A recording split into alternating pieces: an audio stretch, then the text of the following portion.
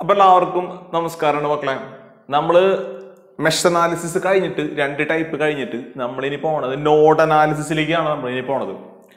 അപ്പൊ ഈ മൊഡ്യൂളിന്റെ കാതലായിട്ടുള്ള രണ്ടാമത്തെ ഭാഗമാണ് ശരിക്കും പറയുകയാണെങ്കിൽ നമ്മുടെ നോഡ് അനാലിസിസ് ഒന്ന് മെഷ് അനാലിസിസ് രണ്ടാമത്തെ നോഡ് അനാലിസിസ് വളരെ ഇമ്പോർട്ടന്റ് ആയിട്ടുള്ള സാധനമാണ്. പത്ത് മാർക്കിനൊക്കെ പരീക്ഷയ്ക്ക് ചോദിക്കാവുന്ന ക്വസ്റ്റ്യൻസ് വരാവുന്ന ഭാഗമാണ് ഈ ഒരു പോർഷൻ ഓക്കെ മക്കളെ നമുക്ക് നേരിട്ട് നമുക്ക് കിടക്കാം. എന്താണ് നോഡ് അനാലിസിസ് എന്നുള്ള കാര്യത്തിലേക്ക് നമുക്ക് കിടക്കാം. ഓക്കെ അല്ല? എങ്ങനെയാണ് നോഡ് അനാലിസിസ് വെച്ചുകൊണ്ട് നമ്മൾ കറണ്ട് വോൾട്ടേജ് ഒക്കെ കണ്ടുപിടിക്കുന്നതിലേക്ക് കിടക്കാം. മക്കളെ അതിൽ നമുക്ക് സ്റ്റെപ്പുകളുണ്ട് കുറച്ച് സ്റ്റെപ്പുകളുണ്ട് നമ്മൾ മറ്റൊരു മെഷൻ അനാലിസിസിൽ പറഞ്ഞ പോലെ ഇതിലും കുറച്ച് സ്റ്റെപ്പുകളുണ്ട് ഒന്നാമത്തെ സ്റ്റെപ്പ് എന്ന് പറയുകയാണെങ്കിൽ നമ്മൾ കണ്ടുപിടിക്കണം അല്ലേ? അതായത് നമ്മൾ ആദ്യം തന്നെ find the nodes find the nodes notes എന്ന് പറയുമ്പോൾ അങ്ങനെയല്ല പറയണം? നമ്മൾ പ്രിൻസിപ്പൽ നോട്ട്സ് പറയണം. ഫൈൻഡ് വെറും നോഡല്ല പ്രിൻസിപ്പൽ നോട്ട്സ് അല്ലെങ്കിൽ അവർ പറയുന്ന വേറെ പേരാണ് നമ്മുടെ ജംഗ്ഷൻസ് എന്ന് പറയാം. അല്ലെ? ജംഗ്ഷൻസ് ആദ്യം തന്നെ എല്ലാ പ്രിൻസിപ്പൽ നോഡുകളും ജംഗ്ഷൻസും കണ്ടുപിടിക്കുക. അതാണ് നമ്മുടെ ആദ്യത്തെ സ്റ്റെപ്പ് രണ്ടാമത്തെ സ്റ്റെപ്പ് നമ്മൾ എങ്ങനെയാണെന്ന് വെച്ച് assign node voltages assign node voltages node voltages and currents from each node. From each node. Okay അല്ല അതിനേക്കാൾ മുമ്പ് ഒരു സ്റ്റെപ്പ് ഞാൻ വിട്ടുപോയി. ഞാൻ അവിടെ വിട്ടുപോയതാണ്. അപ്പൊ നമ്മൾ ആദ്യത്തെ സ്റ്റെപ്പ് നമ്മൾ പറഞ്ഞു the principal nodes or junctions എന്ന് പറഞ്ഞു.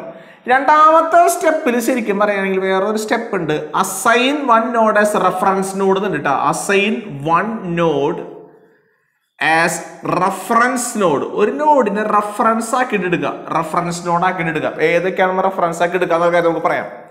മൂന്നാമത്തെ സ്റ്റെപ്പാണ് നമ്മുടെ assign node voltages and current from each node okay അല്ലേ? അതായത് ഓരോ നോഡ് വോൾട്ടേജിനെ നമുക്ക് അസൈൻ ചെയ്യാം. പിന്നെ പിന്നെ ദൈവ മക്കളെ അവിടെ നിന്ന് കറണ്ട് പോണതായിട്ട് പറയാം. പെട്ടെന്ന് പറയാൻ മനസ്സിലായല്ലോ? പ്രോബ്ലം വരുമ്പോൾ പറഞ്ഞാൽ മനസ്സിലാവും. ഇനി നാലാമത്തത് അപ്ലൈ കെ വി എൽ കിർച്ചോഫിന്റെ വോൾട്ടേജിലോ അല്ല കിർച്ചോഫിന്റെ കറണ്ടിലോ അപ്ലൈ ചെയ്യാം. മൂന്നാമത്തത്. ശരി നാലാമത്തെ സ്റ്റെപ്പ് കിർച്ചോഫിന്റെ കറണ്ടിലോ അപ്ലൈ ചെയ്യാം. അഞ്ചാമത്തെ സ്റ്റെപ്പ് എന്ന് പറയുകയാണെങ്കിൽ solve the equations obtained obtained. For node voltages node വോൾട്ടേജിന് വേണ്ടിയിട്ടുള്ള ഇക്വേഷൻസ് നമ്മൾ സോൾവ് ചെയ്യുക ഇതാണ് നമ്മുടെ അഞ്ച് സ്റ്റെപ്പുകൾ അഞ്ച് സ്റ്റെപ്പിൽ ഇങ്ങനെ പറയുമ്പോൾ നിങ്ങൾക്ക് ചിലപ്പോൾ പെട്ടെന്ന് പെട്ടെന്നൊന്നും മനസ്സിലായിട്ടുണ്ടാവില്ല നമുക്കൊരു പ്രോബ്ലത്തിൽ കൂടെ പറയുമ്പോൾ പിന്നെയും കുറച്ച് മനസ്സിലാവും. അപ്പം നമുക്ക് നോക്കാട്ടെ എങ്ങനെ കഥ എന്നുള്ള കേട്ടോ. നമുക്ക് ആദ്യത്തെ നമുക്കൊരു പ്രോബ്ലത്തിലേക്ക് കിടക്കാം. നമ്മളിപ്പോൾ പറയാൻ പോകുന്നത് ടൈപ്പ് വണ്ണ് പ്രോബ്ലം ആണ്. ടൈപ്പ് വൺ ടൈപ്പ് വൺ എന്ന് പറയുമ്പോൾ അതിന് പ്രത്യേകത ഉണ്ട് ടൈപ്പ് വൺ എന്ന് പ്രത്യേകത എന്ന് പറയുമ്പോൾ ഓൺലി വോൾട്ടേജ് സോഴ്സ് മാത്രമേ ഉണ്ടാവുള്ളൂ. Only voltage source. സോഴ്സ് മാത്രമുള്ളതാണ് നമ്മുടെ ടൈപ്പ് വൺ. ഓക്കെ അല്ല? ടൈപ്പ് വൺ എന്നാണ് ഓൺലി വോൾട്ടേജ് സോഴ്സ്. നമ്മുടെ മെഷിലും നമ്മൾ ടൈപ്പ് വൺ പറഞ്ഞപ്പോൾ നമ്മൾ എന്ത് മാത്രം ഉണ്ടായിരുന്നുള്ളൂ മക്കളെ? അവിടെയും നമ്മുടെ ഈ വോൾട്ടേജസ് മാത്രമേ ഉണ്ടായിരുന്നുള്ളൂ. വോൾട്ടേജ് സോഴ്സ് മാത്രം. അപ്പോൾ നമുക്കിത് എങ്ങനെയാണ് നമുക്ക് നോക്കാം. അപ്പോൾ നമ്മുടെ ആദ്യത്തെ സ്റ്റെപ്പിലേക്ക് തന്നെ കിടക്കാം അല്ലെ? ചോദ്യം ഇതാണ്. Find current through three ohm resistor ആണ് കണ്ടുപിടിക്കേണ്ടത് ത്രീ ഓം റെസിസ്റ്റർ കൂടെ പോകുന്ന കറണ്ട് കണ്ടുപിടിക്കണം. എന്ത് ഉപയോഗിച്ചുകൊണ്ട് നോഡോ നോഡ് അനാലിസിസ് ഉപയോഗിച്ചുകൊണ്ട് കണ്ടുപിടിക്കണം.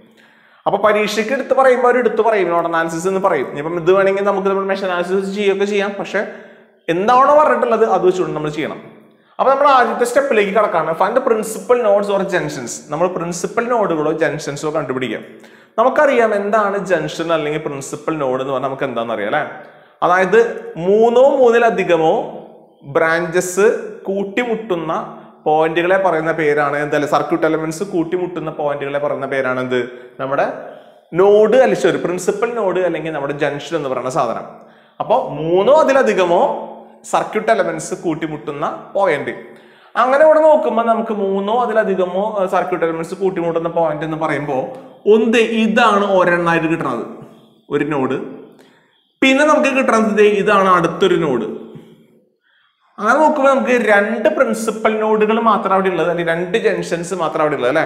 മൂന്നോ അതിലധികമോ എലമെന്റ്സ് കൂട്ടിമുട്ടുന്ന സ്ഥലങ്ങൾ പറഞ്ഞ പേരാണ് പ്രിൻസിപ്പൽ നോഡ് അല്ലെങ്കിൽ ജംഗ്ഷൻ അപ്പൊ അത് ഒന്ന് ഇതും ഒന്ന് ഇതും മാത്രമാണ് അപ്പൊ നമുക്ക് രണ്ട് നോഡുകൾ ഉണ്ടെന്ന് കിട്ടി.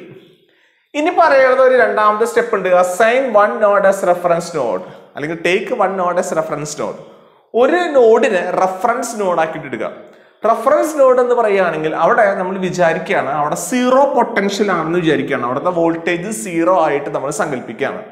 അപ്പൊ നമുക്ക് എടുക്കുമ്പോൾ നമുക്ക് ഇത് ഇവിടത്തെ ആയിട്ട് എടുക്കാം. ഒരെണ്ണം ഇപ്പൊ മോൾ ഭാഗത്ത് രണ്ട് നോഡുകളുണ്ട് അതിൽ ഒരെണ്ണത്തിന്റെ റഫറൻസ് ആക്കി എടുക്കാം. അപ്പൊ ഞാൻ എന്ത് എല്ലാത്തിലും കോമൺ ആയിട്ട് പൊതുവെ നമ്മൾ ഇങ്ങനെ വരുമ്പോൾ ഒരു അടിഭാഗത്തേക്ക് എടുക്കുന്ന ഒരു സാധനത്തിന് നമ്മൾ എന്താക്കി എടുക്കുക? റഫറൻസ് ആക്കിയിട്ട് എടുക്കുക. ഒരു എർത്ത് ചെയ്ത പോലെ ഇങ്ങനെ കാണിക്കുക. ഇതാണ് നമ്മുടെ റഫറൻസ് നോഡ് റെഫറൻസ് നോഡ് എന്ന് പറയുന്ന സാധനം. അല്ലെങ്കിൽ ഇത് മനസ്സിലാക്കാം ഇവിടുത്തെ വോൾട്ടേജ് ഈ സീറോ വോൾട്ട് ആണെന്നാണ് നമ്മൾ മനസ്സിലാക്കേണ്ടത്. ഓക്കെ അല്ല? സീറോ വോൾട്ട് ആയിട്ട് നമ്മൾ ഇവിടുത്തെ റെഫറൻസ് ആക്കിയിട്ട് എടുത്തു. ഇനി അടുത്ത സ്റ്റെപ്പിലേക്ക് കിടക്കാം. Assign node voltages and current from each node. അതായത് അസൈൻ നോഡ് വോൾട്ടേജസ്. അപ്പൊ ഒരൊറ്റ നോഡ് മാത്രമേ ഈ ബാക്കിയുള്ളൂ. ഈ ഒരു ഒറ്റ നോഡ് മാത്രമേ ബാക്കിയുള്ളൂ. കാരണം ഈ നോഡ് നമ്മൾ റെഫറൻസ് ആക്കി എടുത്തു. അപ്പൊ നമ്മൾ നോഡ് വോൾട്ടേജ് അസൈൻ ചെയ്യാന്ന് പറയുകയാണെങ്കിൽ ഇവിടെ ഞാനൊരു വോൾട്ടേജ് ഒരെണ്ണം മാത്രമുള്ള കാരണം ഞാൻ വി എന്ന് പറഞ്ഞിട്ട് ഞാൻ എടുത്തു. ഇനിയിപ്പോൾ ഇത് രണ്ട് മൂന്നെണ്ണൊക്കെ ഉണ്ടെങ്കിൽ V one V two V three എന്നൊക്കെ പറഞ്ഞെടുക്കണം ഇവിടെ ഒരെണ്ണം മാത്രമുള്ള കാര്യം ഞാനവിടെ വി എന്ന് പറഞ്ഞിട്ട് ഞാനവിടെ എഴുതി. സംശയമുള്ള കാരണം ഇവിടുത്തെ വോൾട്ടേജ് ഈസ് വി എന്ന് ഞാൻ സങ്കല്പിച്ചു പിന്നെ കഴിഞ്ഞിട്ടില്ല. And current from each node ഓരോ നോഡിൽ നിന്ന് കറണ്ട് പോകുന്നതായിട്ട് സങ്കല്പിക്കണം അല്ലെ? അപ്പോൾ ഇവിടെ നിന്ന് ഓൾറെഡി നമ്മൾ നോക്കേണ്ട ആവശ്യമില്ല. റഫറൻസ് ആയി വിട്ടേക്കാം. അവന്റെ കാര്യങ്ങൾ വിട്ടേക്കാം. അപ്പൊ ഈ നോഡിൽ നിന്ന് കറണ്ട് നമ്മൾ അസൈൻ ചെയ്യണം. കറണ്ട് അസൈൻ ചെയ്യുമ്പോൾ എല്ലാവരും ശ്രദ്ധിക്കുക. നമ്മളിത് കറണ്ട് അസൈൻ ചെയ്യുമ്പോൾ എപ്പോഴും നമ്മൾ വിചാരിക്കുക. ഇതിൽ നിന്ന് കറണ്ട് പുറത്തേക്ക് പോകണതായിട്ട് നമ്മൾ എടുക്കുക. പുറത്തേക്ക് പോകണതായിട്ട് പുറത്തേക്ക് പോകണതായിട്ട് എടുക്കാന്ന് വെച്ച് കഴിഞ്ഞാൽ ഇങ്ങനെ. ഐ വൺ എന്ന് പറഞ്ഞ കറണ്ട് ദേ പുറത്തേക്ക് പോകുന്നു. ഐ ടു എന്ന് പറഞ്ഞ കറണ്ട് ദേ ഇതിന്ന് പുറത്തേക്ക് പോകുന്നു. ഐ ത്രീ എന്ന് പറഞ്ഞ കറണ്ട് ദേ ഇതിന്ന് പുറത്തേക്ക് പോകുന്നു. അപ്പോൾ ഈ നോഡിൽ നിന്ന് നോഡ് വോൾട്ടേജ് അസൈൻ ചെയ്തു. മാത്രമല്ല അതിൽ നിന്ന് നമ്മൾ കറണ്ടുകൾ പുറത്തേക്ക് പോകുന്നതായിട്ട് സങ്കല്പിച്ചു. എത്ര രണ്ട് മക്കളെ? I one I two I three മൂന്ന് കറണ്ട് പുറത്തേക്ക് പോകുന്നതായിട്ട് സങ്കല്പിച്ചു. അപ്പൊ നമ്മുടെ മൂന്നാമത്തെ സ്റ്റെപ്പ് കഴിഞ്ഞു. ഇനി അപ്ലൈ ക്രിച്ചോഫിന്റെ കറണ്ട് ലോ ക്രിച്ചോഫിന്റെ കറണ്ട് ലോ എന്ന് പറയുന്ന സാധനം നമുക്കറിയാം. ക്രിച്ചോഫിന്റെ കറണ്ട് ലോ എന്ന് പറഞ്ഞാൽ എങ്ങനെയാണ് മക്കളെ? The sum of currents entering is equal to sum of currents leaving അല്ലെങ്കിൽ algebraic sum of currents meeting at a junction is zero എന്ന് നമ്മൾ പഠിച്ചുള്ളത് അപ്പോൾ നമ്മൾ ഇവിടെ ഒറ്റ നോഡ് മാത്രമേ ഉള്ളൂ. ഈ ഒന്നാമത്തെ നോഡ് മാത്രമേ ഉള്ളൂ. ഒറ്റ നോഡ് മാത്രമേ ഉള്ളൂ. ഒന്നാമത്തെ നോഡാണ് അപ്പം നോഡ് വണ്ണിലാണ് നമ്മളിവിടെ അപ്ലൈ ചെയ്യണത്. K K C L sorry K C L apply ആണ്. കിർച്ചഫിന്റെ കറണ്ട് ലോ നോഡ് വൺ ഇതാണ് ഒറ്റ ഒന്നാമത്തെ നോഡ് അപ്പോ നമുക്ക് മനസ്സിലായി നമ്മൾ പറഞ്ഞിട്ടുണ്ടായിരുന്നു കിർച്ചഫിന്റെ കറണ്ടിലോ പറഞ്ഞിട്ടുണ്ടായിരുന്നു. കറണ്ട് പുറത്തേക്ക് പോകണതിനെ പോസിറ്റീവും കറണ്ട് ഉള്ളിലേക്ക് വരുന്നതിനെ നെഗറ്റീവായിട്ട് നമ്മൾ എടുക്കാറെന്ന് പറഞ്ഞു. അപ്പൊ ഇവിടെ എല്ലാ കറണ്ടുകളും എന്ത് പുറത്തേക്ക് പോവാണ്. അപ്പൊ നമുക്ക് എന്തൊക്കെ എടുക്കാം മക്കളെ? നമുക്ക് നോഡ് വണ്ണിൽ എടുക്കുമ്പോൾ I one plus I two plus I three is equal to zero എന്ന് പറഞ്ഞെടുക്കാം എല്ലാ കറണ്ട് പുറത്തേക്ക് പോകുന്നതായിട്ട് നമ്മൾ സങ്കല്പിച്ചിട്ടുള്ളത്. അപ്പൊ നമ്മൾ എന്താക്കി എടുത്തു മക്കളെ I one plus I two plus I three സമയം സീറോ വേണമെങ്കിൽ നമുക്ക് പണി ഉള്ളിലേക്ക് വരണമെന്നൊക്കെ എടുക്കുകയൊക്കെ ചെയ്യാം. ചിലപ്പോൾ ഇനി പ്രോബ്ലം ചിലപ്പോൾ ചെയ്യുന്ന സമയത്ത് ചിലപ്പോൾ ഒരെണ്ണം ഉള്ളിലേക്ക് ആയിരിക്കും ഉള്ളിലേക്ക് വരാണെങ്കിൽ അതിനെ നെഗറ്റീവായിട്ട് എടുക്കണം. അത് നമുക്ക് എങ്ങനെയാണ് അടുത്ത പ്രോബ്ലത്തിൽ കൂടെ പറയാം. അപ്പൊ ഇവിടെ നമ്മൾ എല്ലാ കറണ്ട് പുറത്തേക്ക് പോകുന്നതായിട്ട് സങ്കല്പിച്ചു. സങ്കല്പിച്ചപ്പോൾ I one plus I two plus I three zero zero എന്ന് പറഞ്ഞിട്ട് കിട്ടി. ഇനി ഓരോ കറണ്ടുകളും കണ്ടുപിടിക്കണം. ഓരോ കറണ്ട് അതായത് ഐ വൺ കണ്ടുപിടിക്കണം ഐ ടു എന്തിരിക്കണം ഐ ത്രീ കണ്ടുപിടിക്കണം. അതാണ് കുറച്ച് മെനക്കെട്ട് ഉണ്ടാക്കുന്ന സാധനം. നമുക്ക് ഐ വൺ കണ്ടുപിടിക്കണം. ഇതിൽ കൂടെ പോകുന്ന കറണ്ട് കണ്ടുപിടിക്കണം. ഇതാണ് റെഫറൻസ് അപ്പോ ഇവിടെ നിന്ന് കറണ്ട് ദേ ഇങ്ങോട്ടാണ് പോണത്. ഇവിടെ നിന്ന് കറണ്ട് ഇങ്ങോട്ട് പോകുന്നുണ്ടെങ്കിൽ നമുക്ക് മനസ്സിലാക്കാം ഇവിടത്തെയാണ് ഹയർ വോൾട്ടേജ് ഇത് നമ്മുടെ ലോവർ പൊട്ടൻഷ്യൽ അല്ലെങ്കിൽ റെഫറൻസ് വോൾട്ടേജ് ആക്കി എടുത്തിരിക്കുകയാണ്. അപ്പൊ കറണ്ട് ഇവിടെ നിന്ന് ഇങ്ങോട്ട് പോകണമെങ്കിൽ ഇവിടത്തെ വോൾട്ടേജ് ആയിരിക്കണം കൂടുതൽ ഇവിടുത്തെ വോൾട്ടേജ് ആയിരിക്കണം കുറവ്. അങ്ങനെയാണ് നമ്മൾ എടുക്കേണ്ടത്. അതായത് കറണ്ട് ഡയറക്ഷൻ ഇങ്ങോട്ടാണെങ്കിൽ ഇവിടുത്തെ പൊട്ടൻഷ്യൽ കൂടുതൽ ഇവിടുത്തെ പൊട്ടൻഷ്യൽ കുറവ്. അപ്പോൾ ഇവിടുത്തെ പൊട്ടൻഷ്യൽ ഡിഫറൻസ് കണ്ടുപിടിക്കണം. ഈ രണ്ട് പോയിന്റുകൾ തമ്മിലുള്ള പൊട്ടൻഷ്യൽ ഡിഫറൻസ് ഇതാണ് റെഫറൻസ് ആയത് എടുത്തതുകൊണ്ട് ഇവിടെ നിന്ന് ഇങ്ങോട്ടുള്ള പൊട്ടൻഷ്യൽ ഡിഫറൻസ് കണ്ടുപിടിക്കണം.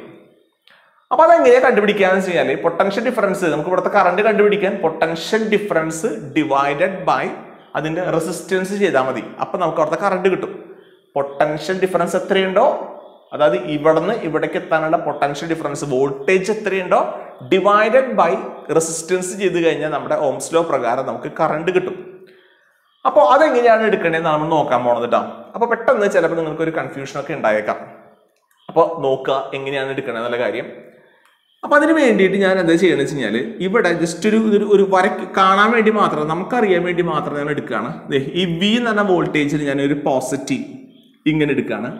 വി വി എന്നാണ് കറണ്ട് പോണത്. അപ്പോൾ ഇതിന് വി പോസിറ്റീവ് എന്ന് എടുക്കുകയാണ് പിന്നെ ഇവിടെ വോൾട്ടേജ് ആയിട്ടുള്ളത് ഇത് ഇവിടെ ഒരു വോൾട്ടേജ് എടുക്കുന്നുണ്ട്. എത്രയാണ് മക്കളെ? ഇതിന് വി ആണ്. ഇവിടെ ഒരു വോൾട്ടേജ് എടുക്കുന്നുണ്ട്. ഇത് ഇങ്ങനെ ഒരു വോൾട്ടേജ് എടുക്കുന്നുണ്ട്. ടു വോൾട്ട് എടുക്കുന്നുണ്ട്. പിന്നെ ഇതേ താഴത്തേക്ക് വരുമ്പോൾ ബാക്കിയുള്ളൊന്നും എടുക്കണ്ട കേട്ടോ. ഇവിടെ ഒരു എത്ര എടുക്കുന്ന മക്കളെ? ഒരു ഫോർ വോൾട്ട് എടുക്കുന്നുണ്ട്. പിന്നെ ഇതേ എവിടെ വന്നപ്പോൾ ഇവിടെ നമ്മുടെ റെഫറൻസ് ആയി. ഇവിടെ സീറോ വോൾട്ടേജ് റെഫറൻസ് ആയിട്ട് മാറി. ഇത് വി ആണ്. ഇതാണ് നമ്മുടെ വി എന്ന് പറഞ്ഞ വോൾട്ടേജ് കറണ്ട് ഇത് ഇങ്ങനെയാണ് നമ്മൾ പോണത് ഇവിടെ അസ്യൂം ചെയ്തിട്ടുള്ളത്. അപ്പൊ ഇവിടുത്തെ വോൾട്ടേജ് കണ്ടുപിടിക്കാൻ വേണ്ടിയിട്ട് നമുക്ക് ഇവിടുത്തെ നെറ്റ് വോൾട്ടേജ് കണ്ടുപിടിക്കാൻ വേണ്ടിയിട്ട് നമ്മൾ മറ്റേ സൈൻ കൺവെൻഷൻ ചെയ്ത പോലെ തന്നെ എടുക്കുക. സൈൻ കൺവെൻഷൻ നമ്മൾ എങ്ങനെയാണോ എടുത്തുള്ളത് അതുപോലെ തന്നെ എടുക്കുക. നോക്കടാ ഇവിടെ നിന്ന് ഇങ്ങനെ പോയിട്ട് നമ്മൾ എടുക്കുകയാണ്. വി അവസാനിക്കുന്നത് പോസിറ്റീവിലാണ് അപ്പൊ വി പിന്നെ ഇവിടെ നെഗറ്റീവിലാണ് ഇവിടെ അവസാനിക്കുകയാണത്. കറണ്ട് ഇത് ഇങ്ങനെയാണ്. അപ്പോൾ ആ ഡയറക്ഷനിൽ നമ്മൾ പോകാതെ ഇവിടെ അവസാനിക്കുന്നത് നെഗറ്റീവിലാണ് അവസാനിക്കുന്നത്. അപ്പോൾ നെഗറ്റീവ് ടു പിന്നെ ഇത് അവസാനിക്കുന്നത് വീണ്ടും ഇവിടെ വോൾട്ടേജ് ഉണ്ട്. അവസാനിക്കുന്നത് നെഗറ്റീവിലാണ് അപ്പൊ നെഗറ്റീവ് ഫോർ കഴിഞ്ഞു. ഇത് റെഫറൻസ് ആണ്. ഇത് സീറോ വോൾട്ടേജ് ആണ്. അപ്പൊ ഇതാണ് ഇവിടുത്തെ വോൾട്ടേജ് എന്ന് പറയാൻ എടുക്കുന്ന സാധനം. അപ്പൊ മനസ്സിലാക്കാനുള്ള കാര്യം ഒന്നും പറയാം.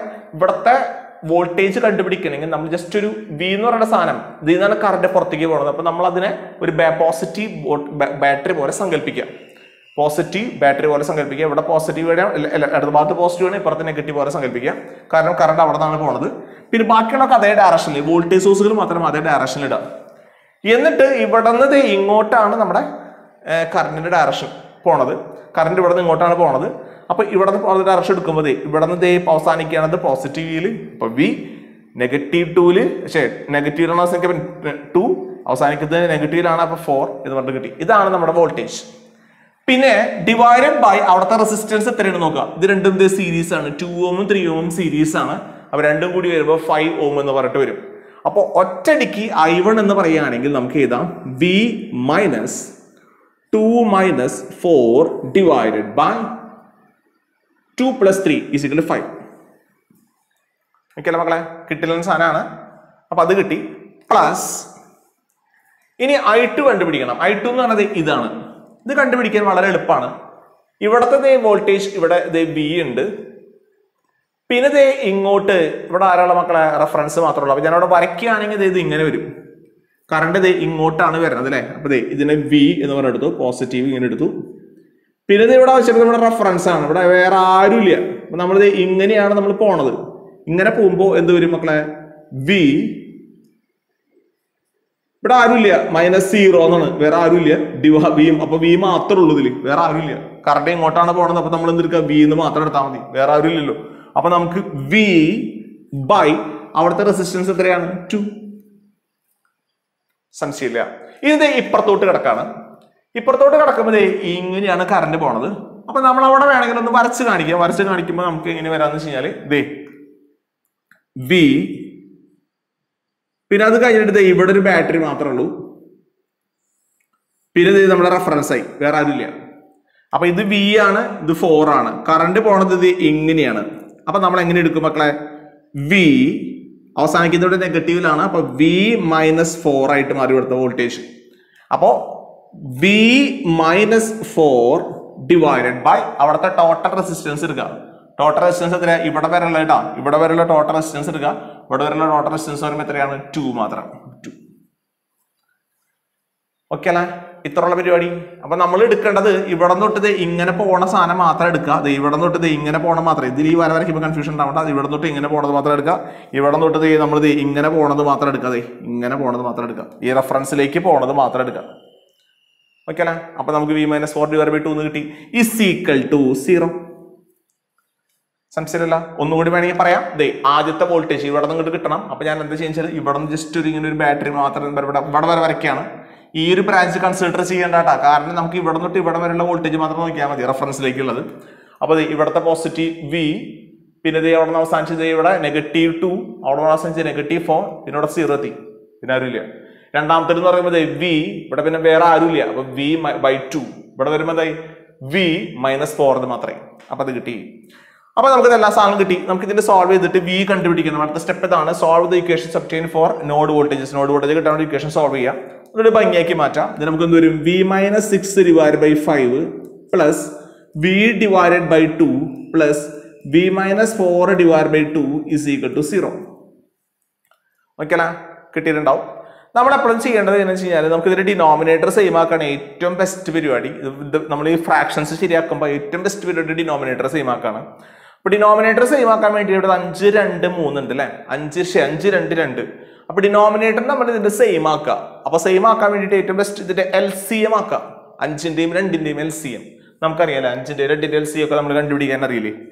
അഞ്ച് കോമ രണ്ട്. അടിഭാഗത്ത് അഞ്ച് രണ്ടിലുള്ളത് അപ്പൊ ദേ അഞ്ച് പോയി ഇതേ അഞ്ച് ശേ ഒന്ന് രണ്ട്. പിന്നെ ഇത് രണ്ട് പോയി ഇത് ഒന്ന് ഒന്ന് അല്ലേ? അപ്പൊ എൽ സി എം എന്ന് പറയുകയാണെങ്കിൽ ഇവിടെ എത്രയാണ് മക്കളെ? അഞ്ച് ഇന്റു രണ്ട് പത്താണ് ഇവിടുത്തെ എൽ സി എം ഈ സൈഡ് ഭാഗം ഗുണിച്ചാൽ മതി. ഇപ്പൊ പത്താണ് എൽ സി എം അപ്പൊ ഡിനോമിനേറ്റർ നമ്മൾ പത്താക്കാൻ ശ്രമിക്കുക. അപ്പൊ ഡിനോമിനേറ്റർ പത്താക്കണമെങ്കിൽ നമ്മൾ എന്ത് ചെയ്യണം? ഇവിടെ ഒരു കൊണ്ട് ഗുണിക്കുക ഇവിടെ അഞ്ച് കൊണ്ട് ഗുണിക്കുക ഇവിടെ അഞ്ച് കൊണ്ട് ഗുണിക്കുക. അപ്പൊ നോക്കിക്കോട്ടെ ഇതിന്റെ പേര് എഴുതിട്ടാ V minus six divided by അഞ്ചാണ് കെടുക്കണത്. ഞാൻ അവിടെ ഒന്നുകൂടി എഴുതാം. Plus V divide by two ഉണ്ട്. Plus V minus four divided by two ഉണ്ട്. ഇസ് ഈക്വൽ ടു സീറോ എന്നാണ് കെടുക്കണത്. അപ്പൊ ഞാനിവിടെ ഡിനോമിനേറ്റർ സെയിം ആക്കണം. അപ്പൊ ഞാൻ പത്താക്കാൻ വേണ്ടിയിട്ട് രണ്ടുകൊണ്ട് മുകളിലും താഴെ മൾട്ടിപ്ലൈ ചെയ്തു. ഇവിടെ സെയിം ആക്കാൻ വേണ്ടിയിട്ട് അഞ്ചോണ്ട് മുകളിലും താഴെ മൾട്ടിപ്ലൈ ചെയ്തു. ഇവിടെ സെയിം ആക്കാൻ വേണ്ടിയിട്ട് ഞാൻ അഞ്ചോണ്ട് മുകളിലും താഴെ മൾട്ടിപ്ലൈ ചെയ്തു. ഡിനോമിനേറ്റർ പത്തായിട്ട് മാറി. അതായത് two into V minus six divided by ten plus five V divided by ten plus five into V minus four divided by ten is equal to zero ഒന്നുകൂടി ഉള്ളിലേക്ക് ഗുണിക്കുക two V minus twelve divide by ten plus five V divide by ten plus five V minus twenty divide by ten is equal to zero common ആയിട്ട് ഡിനോമിനേറ്ററിൽ പത്തുണ്ട് അപ്പൊ അതായത് മുകൾ ഭാഗത്തുള്ള നമ്മൾ കൂട്ടാം. Two V minus twelve plus five V plus five V minus twenty is equal to zero ഈ ടെന്നിനെ അങ്ങോട്ട് കൊണ്ടുപോകാം. അപ്പൊ അത് സീറോ ആയിട്ട് മാറി. ബാക്കിയുള്ളത് two V minus twelve plus five V plus five V minus twenty is equal to zero വിയുടെ തരണം നോക്കാതെ രണ്ട് വി അഞ്ച് വി അഞ്ച് വി പത്ത് വി ഉണ്ട്. പക്ഷേ പത്ത് വി പ്ലസ് രണ്ട് വി പന്ത്രണ്ട് വി ഉണ്ട്. മൈനസ് പന്ത്രണ്ടും മൈനസ് ഇരുപതും വരെ മൈനസ് മുപ്പത്തിരണ്ടാണ് ഇസ് ഈക്വൽ ടു സീറോ അപ്പൊ പന്ത്രണ്ട് വി ഇസ് ഈക്വൽ ടു മുപ്പത്തിരണ്ട് എന്ന് പറഞ്ഞിട്ട് കിട്ടി. വി ഇസ് ഈക്വൽ ടു മുപ്പത്തിരണ്ട് ഡിവൈഡ് ബൈ പന്ത്രണ്ട്. എത്രയാണ്? നോക്കാം നമുക്ക്. മുപ്പത്തിരണ്ട് ബൈ പന്ത്രണ്ട്. കാൽക്കുലേറ്റർ എടുക്കാം മക്കളെ നമ്മൾ. എക്സൈറ്റ് ആയിട്ട് പോലല്ലോ കാൽക്കുലേറ്റർ എടുക്കാം നമുക്ക്. മുപ്പത്തിരണ്ട് ഡിവൈഡഡ് ബൈ പന്ത്രണ്ട്. ചെയ്ത് വരുമ്പോൾ നമുക്ക് കിട്ടി എയ്റ്റ് ബൈ ത്രീ എന്ന് പറഞ്ഞിട്ട് കിട്ടും. Two point six six six six seven എന്ന് പറഞ്ഞിട്ട് കിട്ടും. വോൾട്ട് നമുക്ക് കിട്ടി. അല്ലെങ്കിൽ എയ്റ്റ് ബൈ ത്രീ എന്ന് പറഞ്ഞിട്ട് നമുക്ക് കിട്ടിയിട്ടുണ്ടാവും അതാണ് നമ്മുടെ നോട്ട് വോൾട്ടേജ് വി എന്ന് പറയുന്ന സാധനം. നമുക്കത് മാത്രം പോരാ. നമുക്ക് വേണ്ടതുണ്ടാ കണ്ടുപിടിക്കാൻ പറഞ്ഞ നോഡ് വോൾട്ടേജ് കിട്ടി. നമുക്ക് കണ്ടുപിടിക്കേണ്ടത് കറണ്ട് ത്രൂ ഏതാണ് കണ്ടുപിടിക്കേണ്ടത്? ത്രീ ഓമി കൂടെ പോകുന്ന കറണ്ട് ആണ് കണ്ടുപിടിക്കേണ്ടത്. ത്രീ ഓമി കൂടെ പോകുന്ന കറണ്ട് എന്താന്ന് നമുക്ക് ഓൾറെഡി അറിയാം. അത് ഐ വൺ ആണ് പോകുന്ന കറണ്ട് ഐ വൺ കണ്ടുപിടിക്കാനുള്ള ഇക്വേഷൻ നമുക്കറിയാം. V minus two minus four divide by five ആണ്. അതാണ് ഐ വണ്ണിന്റെ പകരം എഴുതിയുള്ളത്. അപ്പൊ നമുക്ക് അത് കണ്ടുപിടിക്കാം മക്കൾ നമുക്ക്. കറണ്ട് ത്രൂ ടു ഓം അല്ലേ? Current through current through three ohm അല്ലേ? അപ്പൊ ത്രീ ഓം കണ്ടുപിടിക്കാൻ വേണ്ടിയിട്ട് is equal to I one ആണ്. Is equal to V minus six divided by five എന്നാണ്. V minus six divide by five എന്ന് പറയുമ്പോൾ two point six six six six seven minus six divide by five എത്രയാ നോക്കാം മക്കളെ നമ്മൾ minus six divided by five ചെയ്തു വരുമ്പോൾ minus zero point six six six അല്ലെങ്കിൽ സിക്സ് സിക്സ് സെവൻ ആംപെയർ എന്ന് പറഞ്ഞിട്ട് വരും. ഇതാണ് നമ്മുടെ ഐ ത്രീ അല്ല ത്രീ ഓമി കൂടെ പോകും. നമ്മുടെ കറണ്ട് എന്ന് പറയുന്നത് negative zero point six six seven ampere ആണ് വരിക. മക്കളെ ഇവിടെ നെഗറ്റീവ് എന്ന് പറഞ്ഞാൽ ഉദ്ദേശിക്കുന്നത് എങ്ങനെയാണെന്ന് വെച്ച് കഴിഞ്ഞാൽ നമുക്ക് ഇവിടെ ഐ വൺ നെഗറ്റീവ് ആണ് കിട്ടിയത് അതിനർത്ഥം നമ്മൾ ഉദ്ദേശിച്ച ഡയറക്ഷനല്ല കറണ്ട് പോണത്. അതിന്റെ ഓപ്പോസിറ്റ് ഡയറക്ഷനാണ് കറണ്ട് പോണതെന്നാണ് നമ്മൾ മനസ്സിലാക്കി എടുക്കേണ്ടത്. ഓക്കെ അല്ലേ? സമപ്രശ്നമല്ലോ. ഇത് മനസ്സിലാക്കി കഴിഞ്ഞാൽ വളരെ എളുപ്പമാണ്. സിമ്പിൾ പരിപാടിയാണ്. നമ്മുടെ സ്റ്റെപ്പുകളൊക്കെ നല്ലപോലെ നോക്കുക. ഇത് നമ്മുടെ മെഷനാലിസിസ് പോലെയല്ല. കുറച്ചും കൂടി ടൈറ്റ് ആണ് ചെയ്യാൻ. അപ്പൊ പ്രത്യേകിച്ച് ഇവിടെയൊക്കെ നമുക്ക് ഡിനോമിനേറ്റർ ഒക്കെ സെയിം ആക്കിയിട്ട് ചെയ്യുമ്പോഴായിരിക്കും എളുപ്പം. അല്ലെങ്കിൽ ക്രോസ് മൾട്ടിപ്ലൈ ചെയ്ത് ക്രോസ് മൾട്ടിപ്ലൈ ചെയ്ത് പോകട്ടാ അതിനേക്കാളും ഏറ്റവും ബെസ്റ്റ് പരിപാടി ഡിനോമിനേറ്റർ സെയിം ആക്കലാണ്. പെട്ടെന്ന് ചെയ്യാൻ പറ്റും. കാരണം പെട്ടെന്ന് എല്ലാം കട്ട് ചെയ്ത് പോകും പിന്നെ നമ്മൾ ഈ നോഡ് എഴുതേണ്ടത് ഈ വോൾട്ടേജ് മെമ്മ എഴുതേണ്ടതാണ് നല്ലപോലെ ഇവിടെ നോക്കേണ്ടത്. ഓക്കെ അല്ലേ മക്കളെ? സംശയമില്ലല്ലോ? സിമ്പിൾ റേഡില്ലേ അപ്പോൾ എല്ലാവർക്കും മനസ്സിലായി വിചാരിക്കുകയാണ്. അപ്പോൾ എല്ലാവർക്കും ബൈ